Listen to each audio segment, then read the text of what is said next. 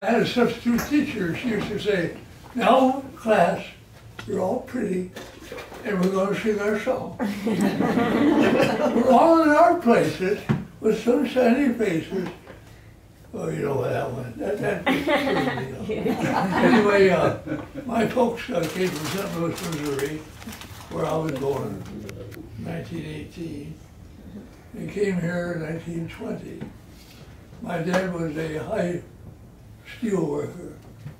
Uh, He uh, worked on a high uh, Mississippi Bridge, and his partner was raining stone.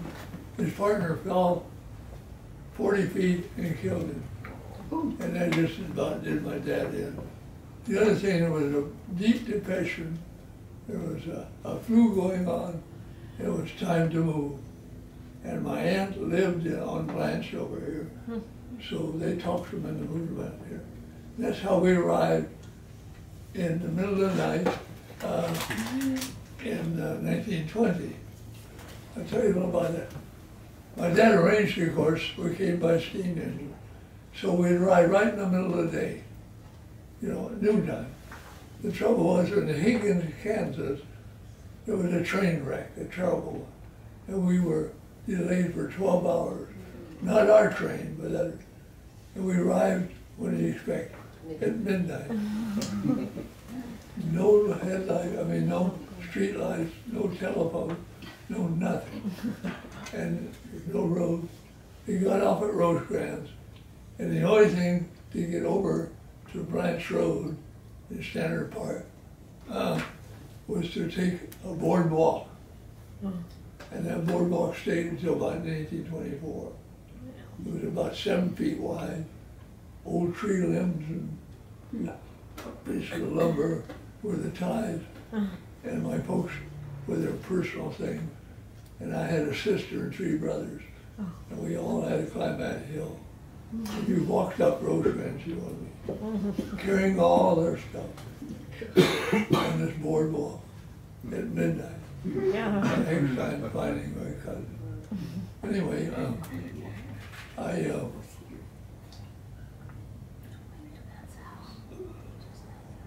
I, uh, joined, uh, first grade, first, first grade, uh, Manby School in nineteen twenty-four, October nineteen twenty-four. That was my first grade class. We had twenty-eight people in it. None of them are left. I researched and researched. There was only one left, Wilmer Drake, as some of you probably know. Yeah. And, uh, he passed away a couple of years ago. He came in nineteen twenty-four. Well, my day is kind of typical. I get up and I usually, uh, first thing, I, I stay in bed, you know, for a while. And I get up at noon and then I get ready for my afternoon nap.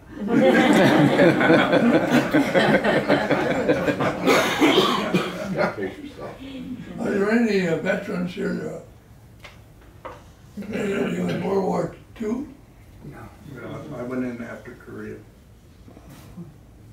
Well, I was in World War II. Uh,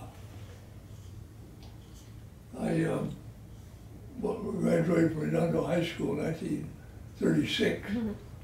I got my driver's license in nineteen thirty-five, and it was signed by the sergeant of Manabee Department. I took no tests, as I recall. Cost me twenty-five cents. And I was driving my Model T, which I drove to high school. Uh, I have photos of it, of course. And, uh,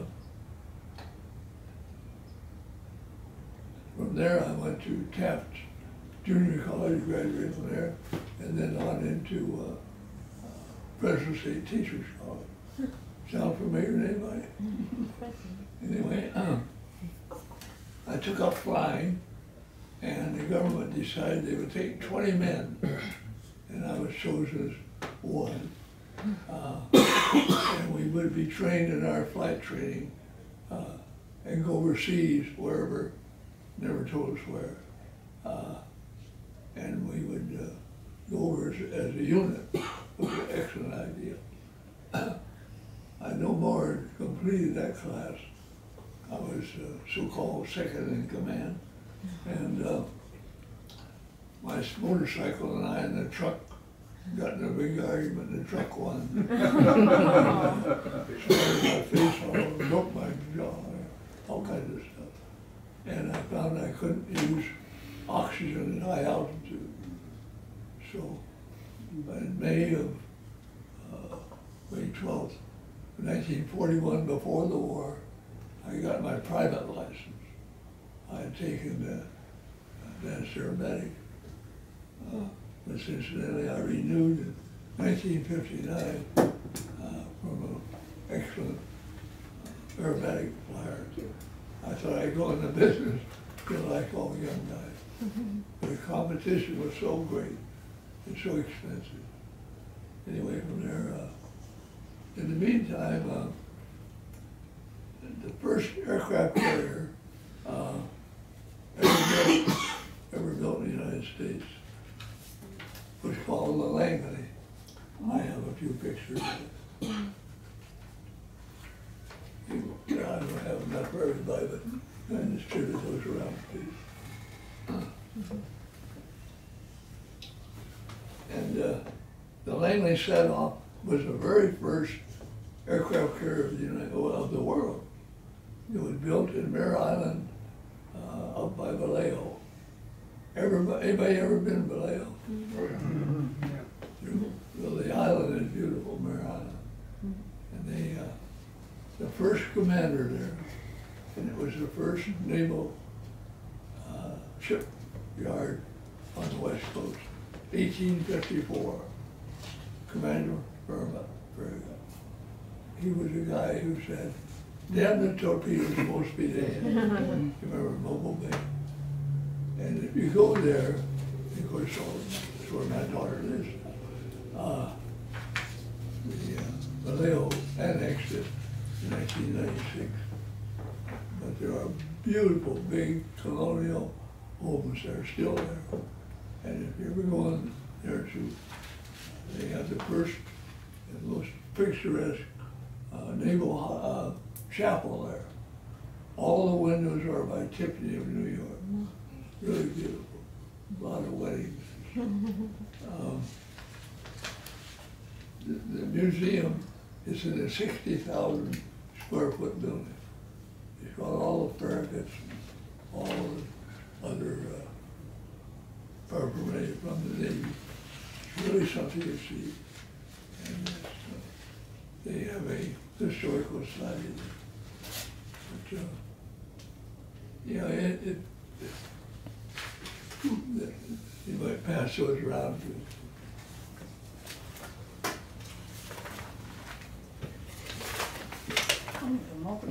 Yeah, I kind of share it. There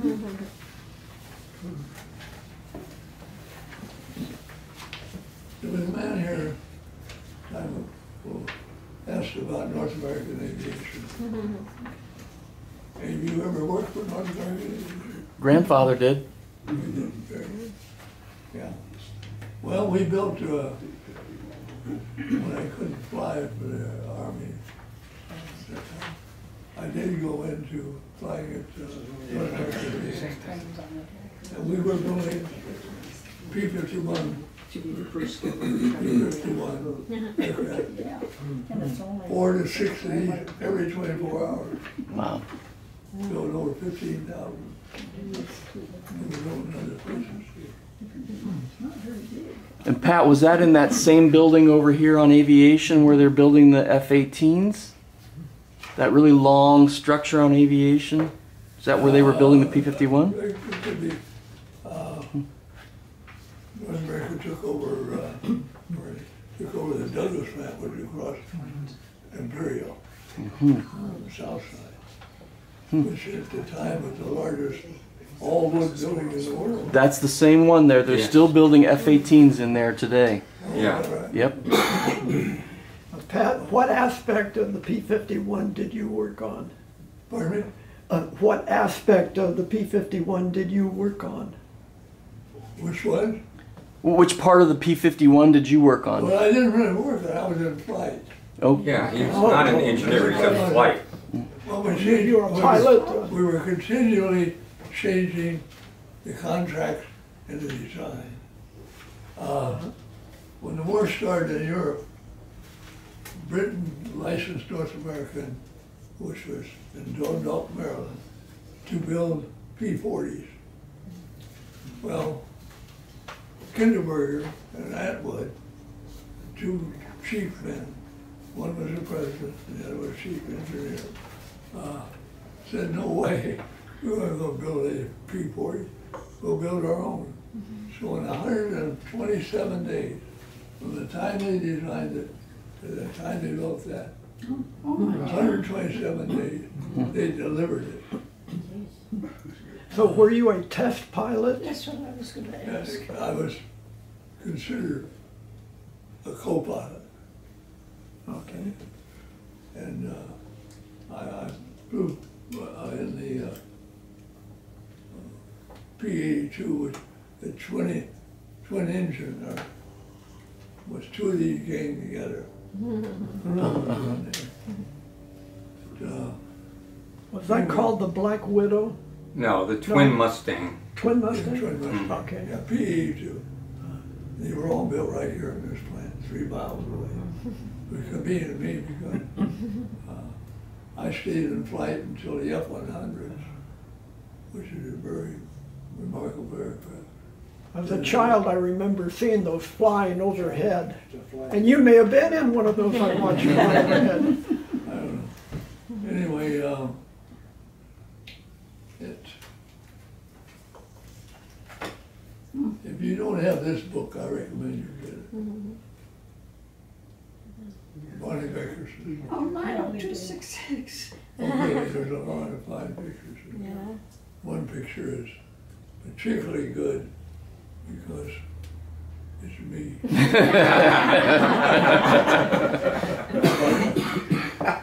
No, I rode my, my Model T and it got the picture. Uh, that Anyway, would be a great along gift. about this time, nineteen thirty-four, they built an oil well there on about Thirty-third Street.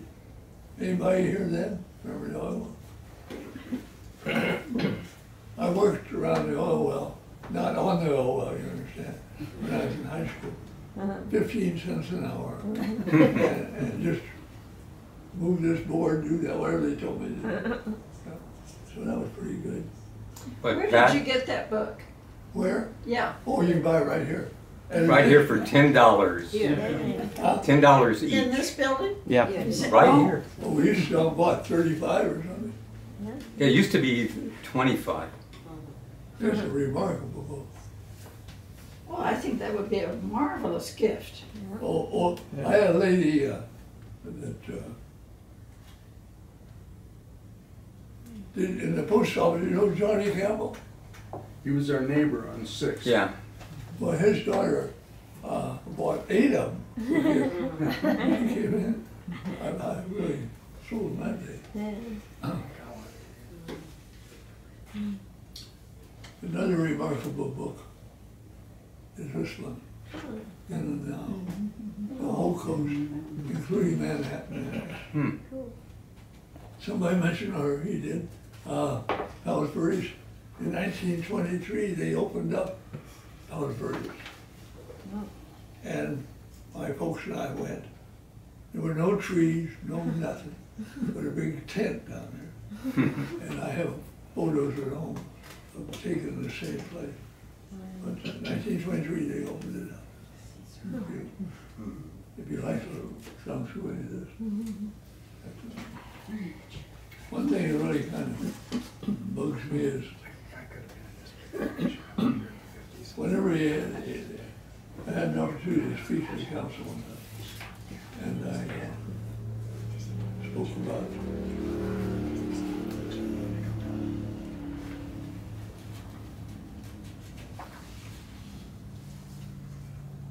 go back to this one. I thought this was kind of funny. This is the type of airplane there was in nineteen twenty-seven. And, uh, if you look at it carefully.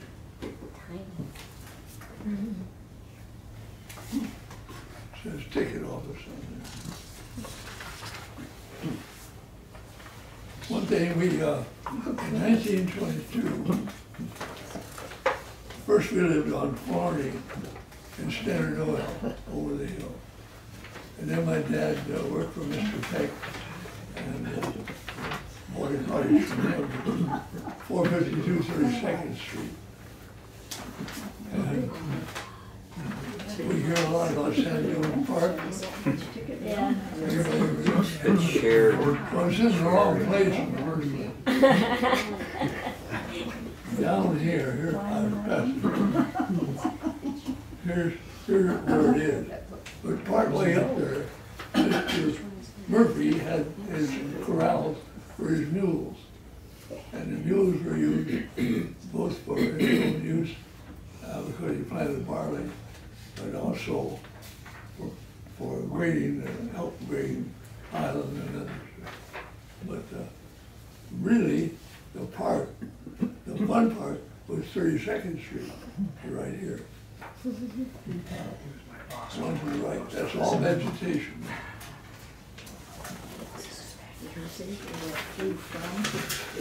I might mention one thing, fishing was so good back then, back in high school. Really good.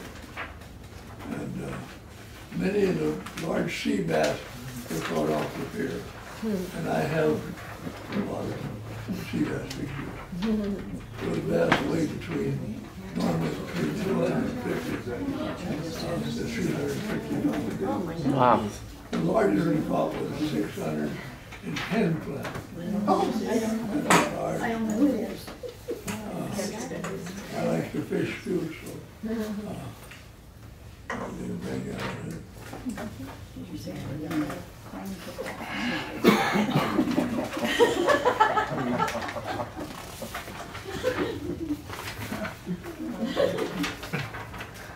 Well, you got your priorities in order. Boat and motor. What what order do you want? Come on. Something like that. That's great. I,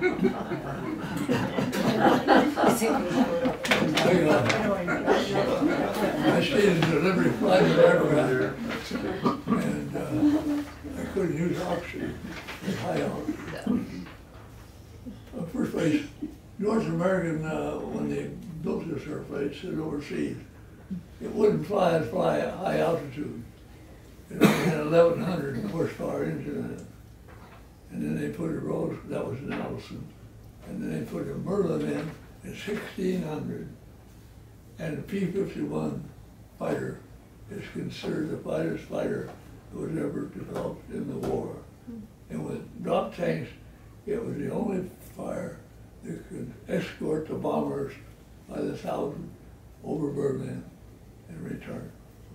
Uh, Many men were killed, but, uh, it was the only one. I, uh, stayed in flight until forty-four and, uh, decided I'd get in service. And I joined the eighty-second Airborne Division. You had, you had to volunteer to be a paratrooper. I think that, I think the submarine service is considered it hazardous, hazardous pay. So you got fifty dollars a month extra. And people invariably say, well, why do you want to join that fifty bucks? Um, Yeah, I went overseas and jumped. Another story. You were in Europe. Yes, ma'am. France and Germany. With the paratroopers. Yeah. We got banged up a little bit, but second time. Anybody have any questions? So, Pat, do you have a pension from North American? Pardon? Did you get a pension from North Oh, American? yeah. Yeah. Well, not for Roger, for Boeing, good Boeing. Uh huh. Yeah, yeah, mine. So you were in that industry for a long time. Well, I was at the plant, it's three and two years I was in the service, hmm uh, forty years. Oh wow. Okay. And yes, I get my pension, my medical, everything. Very nice. Boeing has treated me mighty well. Good. Yeah. Would you have considered yourself a test pilot? Pardon? I say, would you have considered yourself a test Not really. pilot? Not really, because I'm always uh, more or less in the second. Yeah, This is, Say, Pat, I uh, go four or five, what? I was gonna say, uh, at one time, the Manhattan Beach Pier extended another two hundred feet out. Yeah. Did, did you ever fish off that uh, extended Oh, that part? was, Wilbur and I used to fish, fishing was so good. And we had seven barges off of the three cities. We got the first from Manhattan, seven. All of these were originally square rig sailing vessels, commercial. And the uh, owners would chop off most of the uh, uh, mast, high mast, and put heavier ballast in. And uh, Were they gambling ships? and Dr. Lar, or uh, Captain Lar- Larson had the Georgina off of Manhattan, about a mile and a half now. This, this book is loaded with the whole thing. In April, April of uh, 1985, and trouble storm at Worcestershire. They all did. Say, during, during the week, would there have been a lot of people on the fishing pier literally fishing for their meals? Oh, uh, again, if you look at this book, here, Well, I know if I, I go down now during the weekdays, uh, you don't have the crowds, but I think at Oh, that no, it time. used to be. Mm-hmm. My, my brother mm-hmm. in nineteen twenty-two caught the largest halibut mm-hmm. of the year. He, he used a, a limb from where you grew up the street and had a sidewinder wooden reel, all wood. He, thirteen and a half pounds, and the city gave him somebody. I thought that was pretty neat. I'm gonna show you a picture. This was taken from the deck of our house. Oh, The picture, this was extension of the pier. oh, yes. Look at that. So Pat, uh, have have you lived in the same home for a very long time? Yes, that was about I was gonna sixty, that. 60 years? seven years. Sixty-seven years. Yeah. All through high school, they, I was four hundred fifty, four hundred fifty-two, four fifty to Thirty-second Street. That's where you are now. No, that's where I graduated when I was in high I see. school. I might tell you, uh, thinking about it, things have really changed. For instance, I never saw a whale really up close, off the pier or off the boat. I went out whenever I could to the barge, and there were rarest occasions, I went out with Oscar Bassett, live bait boat, and we go out. Never saw a whale close, and never even thought about a porpoise or dolphin. Hmm. None. At that. And on the rarest occasion, you see a seal. But that was it. That's all new. These So we have no more fish or large bass, but we've got lots of dolphin, lots of whales, Yeah. Yeah. and great white sharks now. Yeah, yeah, one of Yeah, those, and the- throw in a hammerhead or two. Yes. the one thing that you didn't have either was crows. Uh, We had no parrots. Anybody have any parrots? Yeah, green, I think that's one thing we forget is how much progress we've made, because everybody's lived here a long time, remember what the smog used to be here. Oh, we don't have that anymore. Smoke? And the ocean is so much cleaner than it was, that's why we have mm-hmm. dolphins and whales. Because the, the Hyperion is so much cleaner, and there's no, we don't have sewage in the water, we have clams, we have re, re, you know, resurgence of marine life, and much cleaner air. And that's big Yeah. progress, and We used to have, No, a- that's, that's we true. used to have a Is lot that of partly fog. because they cleaned up uh, Not Hyperion? here, That would make a difference in the fish. huge difference. In nineteen twenty-two, my folks bought a new Ford touring car. And my two oldest brothers, one out front, one the other, and then they were the daily breeze, all in North Manhattan. Going up, back, they'd have to back up some of the hills, do the transmission. Cars. But, uh, it used to get so foggy from time to time. Haven't very little of that now. But it was all swampy ground. Uh, over in Torrance, awful lot of of swampy land. We don't even seem to have as much June gloom as we used to. No, I agree. No, last couple of years now. One last four or five years has changed. I remember we used to have fog.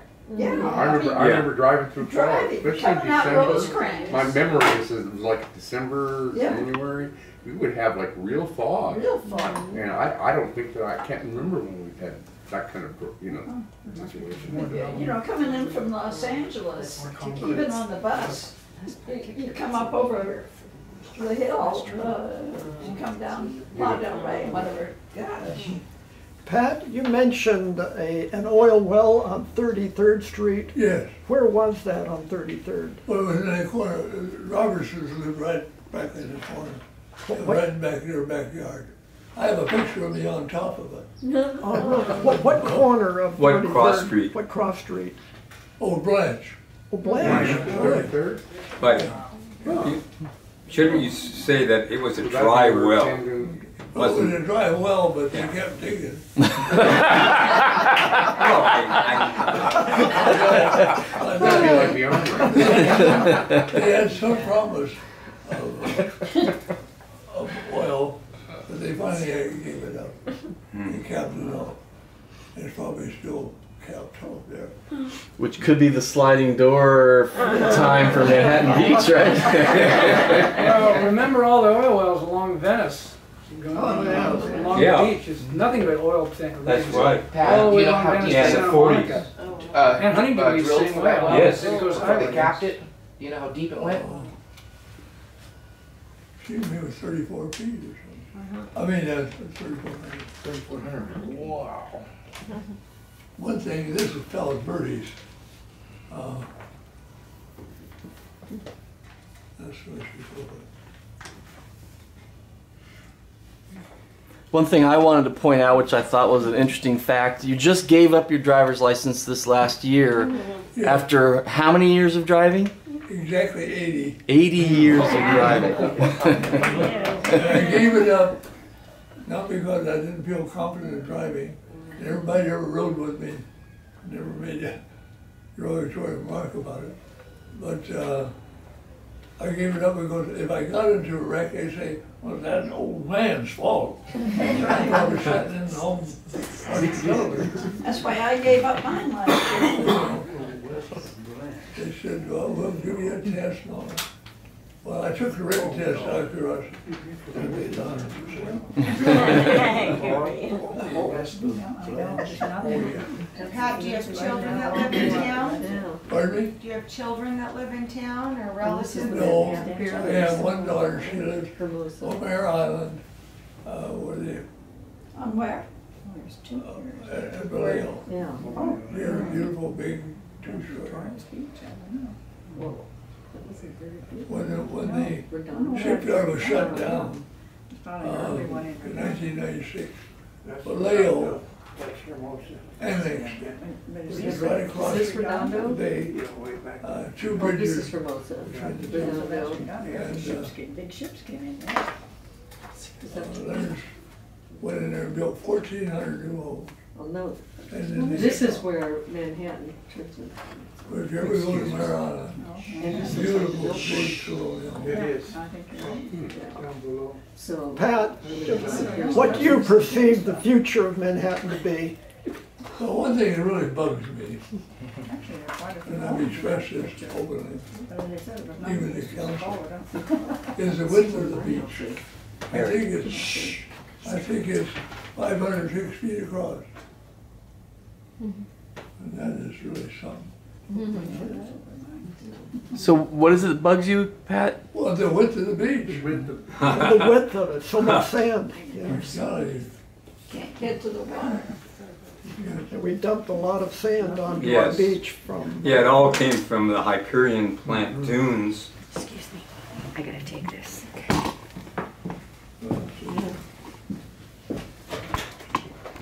Yeah, that, that, people coming from as it they think they're gonna walk across that nice soft sand. Mm-hmm. If you ever walked it barefoot